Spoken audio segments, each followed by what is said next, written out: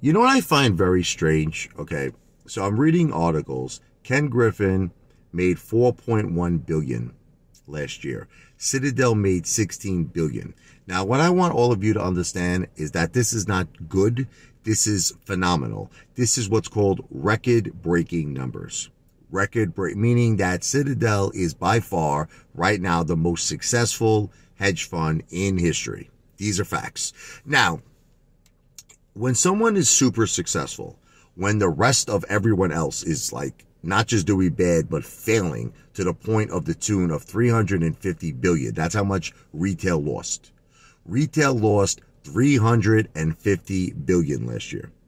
I would just think that Gary Gensler, it would maybe, you know, I don't know, a little like a light bulb would go off in the brain. Something would happen, right? Where maybe he would have this epiphany. He would say, listen, Something is not right here. Something is rotten in Denmark. How could one person be doing so well? How could one hedge fund be doing so well and everybody else is doing terrible? Not just terrible, freaking horrendous. Like, like I'm talking about so bad that it stinks like sewer rat.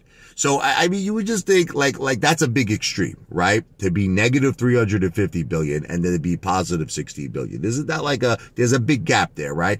So this is kind of where I have to now question, does Gary Gensler understand this? Or is he a complete idiot? Is he just a moron? Okay. Because if he does understand it, then he should research it. He should say, why is Citadel doing so good when everybody else? And um, by the way, I'm even talking about even other hedge funds. Citadel's doing better than everybody. What is it about Citadel? What is their magic trick?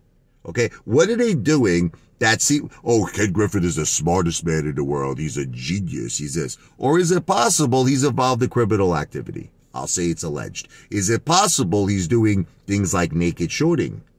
Is it possible that he's using phantom shares, synthetic shares? But this is the thing I'm trying to make all of you understand. The SEC's transparency rule does not require Citadel to disclose if they are using synthetic shares. They don't have to do it. Okay.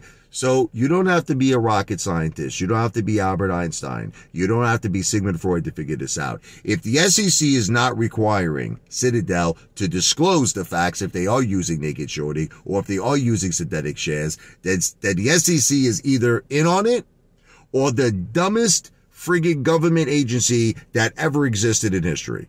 That's it. Now, again, I'm going to say it's alleged, but I have the right to my opinion. So you might say, well, what are we going to do about it? Well, you got to wake up and smell the damn cappuccino. You got to wake up and smell the coffee. And if you can't smell it, my solution, it works for me. Put some Sambuca in the cappuccino because we have to start pressuring the SEC.